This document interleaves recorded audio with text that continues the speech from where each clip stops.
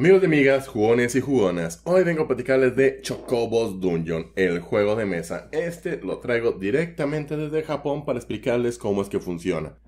Entonces, es un juego que tiene sus reglas en inglés, en japonés, en alemán y debe haber otro idioma por italiano, me parece. Pero, pues como les digo, también trae sus reglas en inglés, que son estas que están aquí. Pero pues yo vengo a explicarles cómo funciona. De todas maneras está bastante bien explicado cómo es de lo que trata. Es un juego donde vamos a estar viajando a través de un calabozo para derrotar a un enemigo. Este es un juego cooperativo que también se puede jugar en solitario, donde, bueno, vamos a tener ahí varias cosas pasando durante el juego. Está bastante interesante, pero es importante aclarar eso, que este es un juego cooperativo, entonces puede ser de 1 a 4 personas en la mesa que vamos a estar jugando. Este es un juego público por Square Enix, diseñado por Yohihiko Uto y Naochi Mamura. Y los contenidos pues pueden ver es este tablero con este círculo que vamos a poner por aquí y vamos a ir dando vueltas donde nos van a dar nuestras diferentes posibles acciones. Tenemos los diferentes pisos, este viene siendo el piso 4, que del otro lado es el piso 1. Tenemos un piso 2 que puede ser sencillo o difícil, tenemos un piso 3 que puede ser sencillo o puede ser más difícil y tenemos dos opciones para jefe a encontrarnos.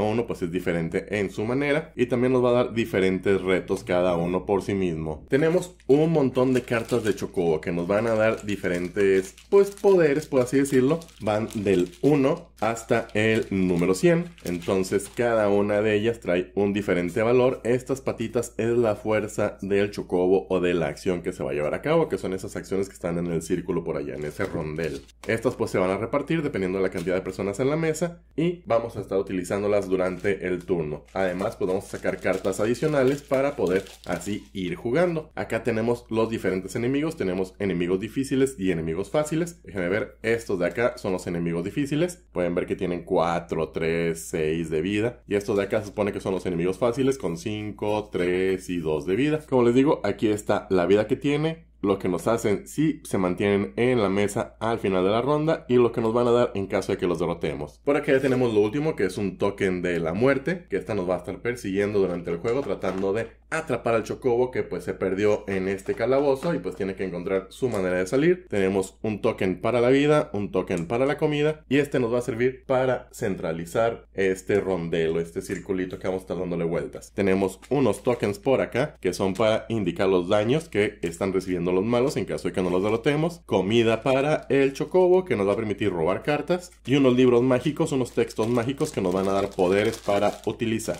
Y listo, estos son los contenidos de Chocobos Dungeon. Vamos a ver cómo es que se juega.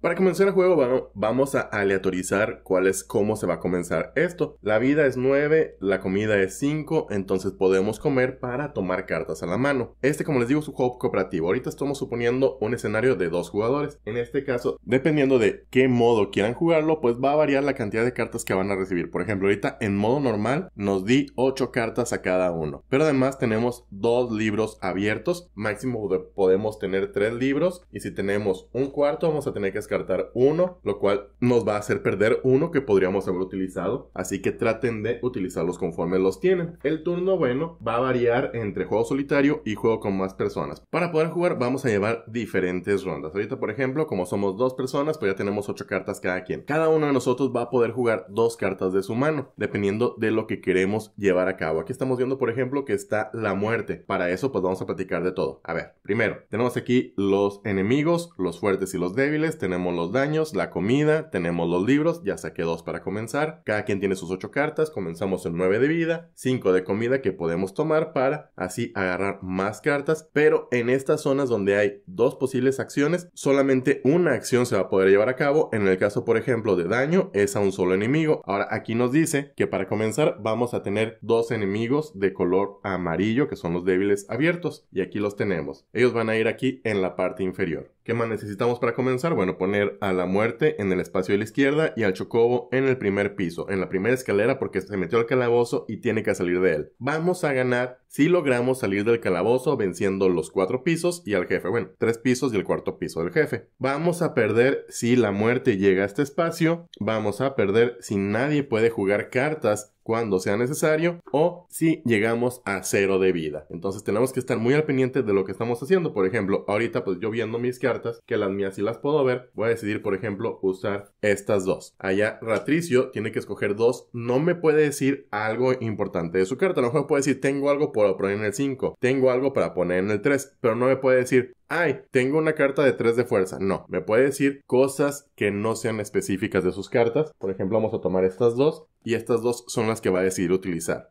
Ah, bueno, van a ser boca abajo. Una vez que ya las tenemos, se van a sacar cartas adicionales. Esta carta es para poder completar las 5 que se necesitan para la ronda. Entonces, si fuéramos tres personas, cada quien pondría una carta y salen dos de aquí. Si fuéramos cuatro personas, cada quien pone una carta y sale una de aquí. En el modo solitario varía, ahorita les voy a estar explicando también cómo funciona de manera solitaria. Listo, ya que tenemos las cinco cartas necesarias para las cinco posibles acciones, ya tenemos los enemigos que salen al principio de la ronda, ya comenzamos con nuestros dos libros del principio del juego, ahora vamos todos en equipo a organizar estas cartas. Por ejemplo, no queremos que él se mueva mucho porque si llega aquí al final vamos a perder. Primer punto ya completado. Segundo, podemos agarrar cartas, podemos atacar enemigos, podemos movernos. Y yo creo que movernos es muy importante. Entonces vamos a movernos mucho y vamos a atacar o agarrar cartas. Ahorita lo, lo decidimos Retricio y yo. Y es importante también hacerle saber que en el caso de llegar aquí en el primer movimiento, todo lo demás se acaba, este ya no avanza, esto ya no avanza, descartamos todo en ese momento. Pero bueno, ahorita apenas vamos comenzando. Primera ronda. ¿Qué tenemos aquí? Podemos movernos 5 espacios o hacerle 5 daños a un enemigo. ¿Qué está la mejor, Ratricio? ¿Cómo, Ratricio? ¿Tú opinas que 5 espacios y luego gastamos nuestro libro? Perfecto, mira. 1, 2, 3, 4, 5 y vamos a gastar nuestro libro, entonces este ya sale de juego, para movernos un espacio más. Ese nos da una comida que nos va a subir en 4 y también sale de juego. De 5 subimos a 9 de comida. Tenemos que usar una acción de comer para poder tomar cartas, así que esta carta ya se fue. Segunda acción, se va a mover 1 la muerte. Tercera acción, vamos a poder movernos 5 espacios. Ahora, ¿lo pensamos bien? No lo pensamos bien, así que vamos a ver. Puedo moverme 1, 2, 3, 4, 5. 1, 2, 3, 4, 5. Nos han hecho dos daños. Caímos en una trampa, Ratricio, ya ves. Todo por hacerte caso. Bueno, esta carta se va. Ahora, este podemos hacerle tres daños a un enemigo. Mira, vamos a hacerle tres daños a este. Con tres daños sale de juego y nos da esta recompensa que es curarnos uno de vida. Listo. Vamos a echarlo por allá. Esta ya se fue. ¿Y qué nos queda? Nos queda dos movimientos a la muerte. No importa, ya casi salimos, pero este, como aquí se quedó al final de la ronda, nos va a hacer un daño. Y listo. A ver, ¿qué sigue? Esta se descarta y acabamos la ronda. Siguiente ronda, de nuevo revisamos. Hay que poner dos monstruos. Ponemos dos monstruos. Cada quien va a poner dos cartas de su mano para llevar a cabo acciones pero primero hay que mover este un movimiento. Así que ahora esto ya cambia. Solamente se va a mover una vez la muerte. Así que aquí yo voy a decidir escoger estas dos. A ver, Retricio, ¿qué cartas vas a poner? Esta de aquí y esta de acá. Muy bien. Y una se agrega adicional. Ahora sí vamos a revelarlas y asignarles su espacio. ¿Qué tenemos aquí? Puros 2 y 1. Bueno, 2 aquí. Yo creo que podemos poner un 1 aquí. Un 2 acá, no nos importa. Un 3 aquí. Y un 2 acá. Creo que eso nos ayuda, nos sirve para... No, no nos sirve de nada. Este, véngase para acá entonces. ¿Por qué? Porque una vez que alcancemos la salida en este movimiento, o bueno, podemos derrotar a uno y ya con eso podemos salir. Entonces este por acá, ahí está. Mira, ¿qué tal? ¿Qué te parece, Ratricio? ¿Te parece bien? Listo, entonces podemos comenzar esta segunda ronda y con eso pues ya vamos a salir ahorita del tablero. Ahora, por ejemplo, vamos a usar esta acción y esta acción me permite ya sea movernos o tomar cartas. Vamos a tomar cartas. Para eso, como es poder 2, vamos a reducir 1, 2 la comida y vamos a tomar cartas. Aquí al tomar cartas, como les dije antes, solamente podemos tomar una de las dos acciones. Vamos a tomar la de cartas. Ahora, estas cartas podemos decidir cuántas queremos cada quien. Y vamos a agarrar una cada quien. Listo, esta acción ya se llevó a cabo. Se va esto de aquí. Y vamos con la siguiente. La siguiente es que nos podemos mover o atacar. Ahorita, por ejemplo, yo creo que podemos atacar a este de 3 que nos va a dar 2 de comida, que es esto que está aquí abajo. Así que vamos a darle 3 madrazos para sacarlo de juego. Eso nos va a dar 2 comidas. Subimos de regreso a 9.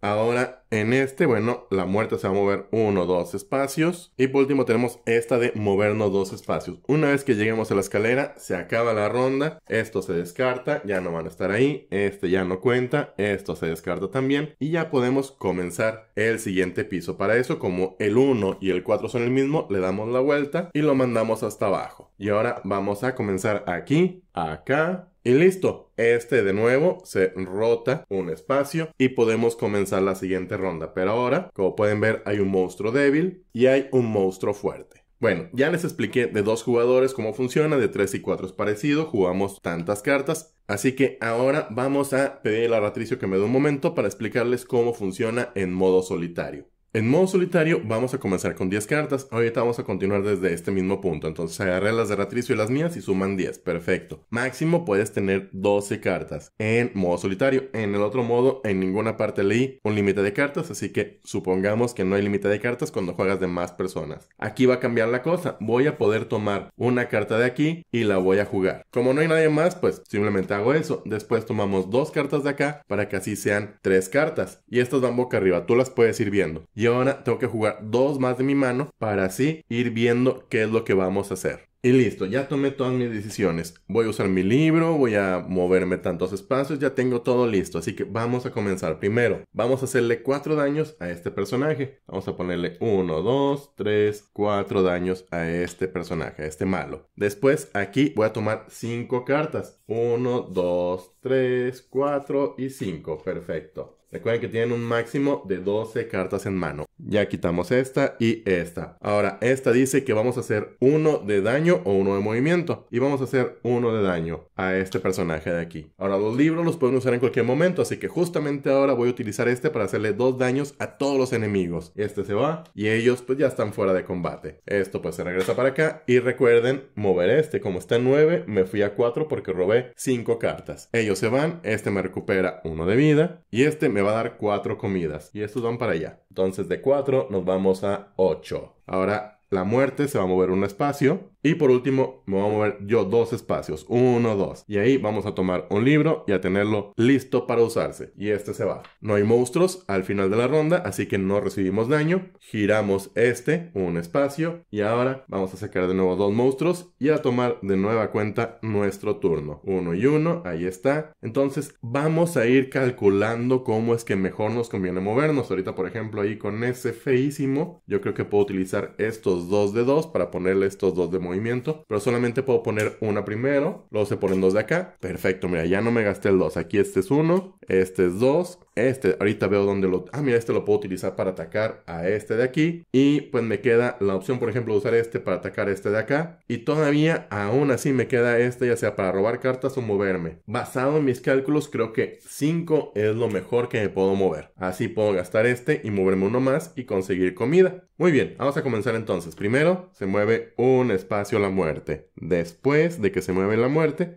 vamos a hacerle 5 daños a este de aquí. Y eso nos va a dar un libro. Vamos a sacar otro libro. 2 de movimiento, ok.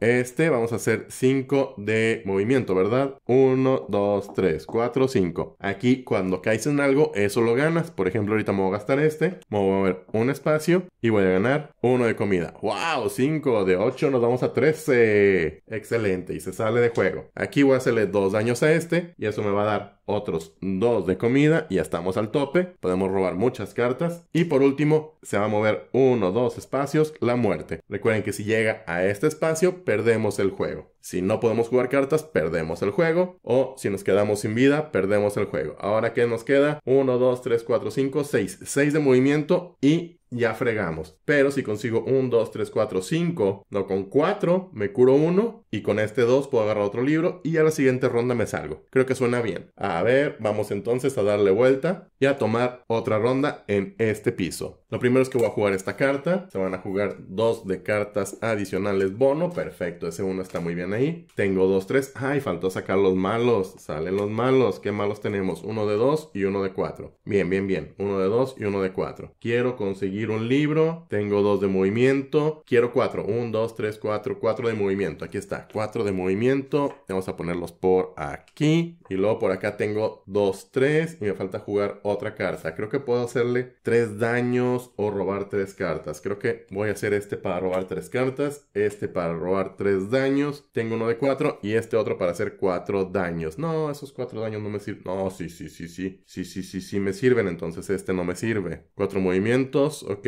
Primero, 4 daños por acá. Y ahorita vemos qué hacemos con ese 3. Primero, vamos a gastar esta para robar 3 cartas. Porque ya no estamos quedando sin cartas. Y si no tenemos cartas que jugar, vamos a perder. Segundo, vamos a mover un espacio a la muerte. Tercero, vamos a hacerle 4 daños a este de aquí. Que eso nos va a recuperar 1 de vida y se va para allá. Este fue este de aquí. Después dice aquí que podemos hacer 4 de movimiento o 4 de, de comida. Ah, ¿Cuánto me gasté de comida? 3. 1, 2, 3. Recuerden gastarlo. Y tenemos máximo de mano 12. Entonces vamos a movernos 4. 1, 2, 3, 4. Y me curo 1. Ya estoy al máximo. No me curo más. Ahora puedo moverme 2 para llegar aquí, tomar otro libro este va a ser una curación, está bien. Entonces este 3 vamos a usarlo para salir de aquí. Vámonos al siguiente piso. Y así voy a platicarles del último piso. Me voy a saltar el tercer piso, este ya se va. Y vamos a irnos directo al cuarto piso para explicarles cómo es que funciona el jefe y qué es lo que cambia. Para empezar, bueno, debimos de haber escogido un jefe al principio del juego. Recuerden que este va a girar de todas maneras. Y ahora este lo vamos a poner aquí en medio. El chocobo llega por aquí, la muerte comienza por acá. Y ahora aquí ya empieza a cambiar un poquito, porque por ejemplo, si la muerte y el chocobo están adyacentes, pierdes el juego. Así que ahora tenemos más cosas. Uno, si nos quedamos sin vida, perdemos. Dos, si estamos junto a la muerte por cualquier razón, en cualquier momento, por ejemplo, estaba yo aquí y me moví dos, perdemos. Y 3, si nos quedamos sin cartas, perdemos. Para ganar hay que hacerle 20 o más daños al jefe. De este lado. De este otro lado son 25 daños. De igual manera, la muerte se va a estar moviendo, haciéndonos daños. Y por ejemplo, esto que dice aquí, cuando la muerte caiga aquí, la muerte solamente se va activar su efecto al final de la ronda. Por ejemplo, al final de la ronda 3 daños o al final de la ronda 2 daños y las cartas bonus no vamos a poder verlas como hicimos en las rondas pasadas. Va a ser secreto. Así que eso es lo que nos cambia el juego. Como este está sencillo, solamente sacamos un monstruo. Voy a mostrarles de este lado para, pues lo mismo, vamos a llevar a cabo una ronda, dos rondas tal vez. Lo primero es este 5 y después pues sacamos las dos cartas bonus. Quiero hacerle 5 daños a ese enemigo, este se va a mover un espacio, este 3 ¿para qué me puede servir? Puede ser por acá para hacerle otros 3 daños o para agarrar 3 cartas. Creo que para agarrar 3 cartas. Me quedan dos opciones, puedo moverme, creo que me conviene moverme 3 espacios con esta y de aquel lado no, entonces no me conviene moverme 3 espacios con esa me conviene mejor moverme 1, 2, 3, 4, 5 espacios. No, me conviene moverme un espacio, pero no tengo ninguna de moverme yo un espacio y no quiero que se muevan muchos espacios, así que pues me quedaré con movimiento de dos espacios por allá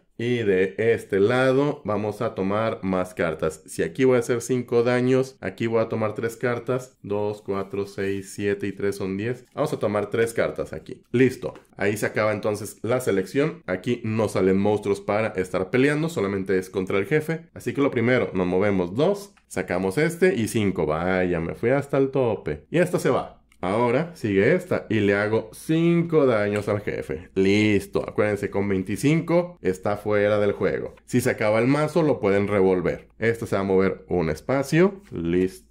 Este voy a tomar tres cartas, una, dos, tres, y este se reduce de 15 a 12. Y ahora es cuando hay que pensar, ¿me conviene tomar tres cartas o moverme tres? Uno, dos, tres, tomar tres cartas. Listo, una, dos, tres cartas. Y como tengo muchas, hay que descartar. Del 12 se va al 9. Tengo 12, perfecto, entonces no tengo que descartar cartas. Ahora vamos a darle la vuelta a este y vamos a tomar otra ronda. Creo que esta será la última. Y ojo, como terminó aquí, eso me hizo un punto de daño. Así que ahora estoy en 8 de vida. Así que lo primero, vamos directo a los trancazos. Un 5 para tratar de hacer otros 5 daños y acabar esto pronto. De este lado tengo otros 5 para acá para hacerle otros 5 daños. Ya son 10. Con este puedo hacer que se mueva dos espacios. 1, 2. Y no queremos que se mueva más que 1. Y sí, tengo un 1. Y yo me puedo mover 1, 2, 3, 4, 5. Nada. Ah, 2, 2, tengo un 2. No te sí tengo un 2. Perfecto. Listo. Ya podemos comenzar entonces ahora sí la ronda. Primero se mueve 2. 1, 2. Recuerden, estos daños me los hace al final de la ronda si es que sigue ahí. Ese fue la muerte. Ahora el chocobo se mueve 1, 2 y se cura 1 de vida. Vientos. Sigue aquí. Vamos a hacerle 5 dañotes al jefe. ¡Pau! Y luego por acá se va a mover un espacio. Y acá vamos a hacerle otros 5 daños al jefe. ¡Pau! Porque 1, 2, 3, 4, 5. Sí, no me... No, bueno, no puedo agarrar más. Perfecto. Ahí está. Termina la ronda. Revisamos. Este dice que me hace un daño, así que bajamos a 8. Y una carta bonus, las dos cartas bonus no las voy a poder ver. Vamos a jugar esa, vamos a darle la vuelta. Y pues yo creo que con eso podemos terminar porque aquí tengo dos 5 y con esos dos 5 ya podemos vencerlo. Así que primero voy a jugar yo mi carta, luego están las dos cartas bonus que no puedo ver y por ende voy a jugar este 5 acá para tratar de ganarle y necesito un 2, 3, 4 y un 4 para agarrar cartas y alejarme de la muerte. Ahora sí, ya que jugué mis cartas ya puedo ver y reacomodar conforme a cómo lo vea mejor. Este 4 no me gusta aquí. Ay, está bien feo esto. Porque si lo dejo que se mueva 4 aquí y lo dejo que se mueva, pues cualquiera que le ponga que se mueva 4 se va a mover 4. Y eso es malo porque 1, 2, 1, 2, 3, 4. Ah, no está bien. Está bien.